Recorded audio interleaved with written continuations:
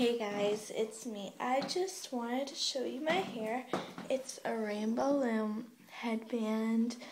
Um, I just did it a couple minutes ago and I put it in my hair and I think it looks really nice on me too. I'm proud of myself. This is the very first time I ever did it to the headband, not a whole like rainbow loom bracelet, of course, because um you see me my videos. So yeah, I just want to show you. So yeah, it's online now. Hope you enjoyed.